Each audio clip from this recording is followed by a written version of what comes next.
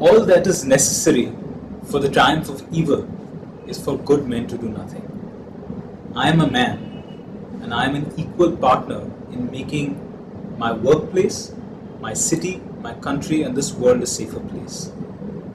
Women do not have to depend on men to make it safer, but making it safer makes me feel safe too.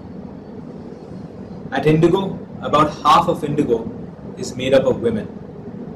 About a third of our leadership team is made up of women. And every one of us at Indigo owes our very existence to at least one woman in our life. We believe in girl power. I pledge to make this world, my country, my city, my workplace a safer place for women. I promise to ring the bell.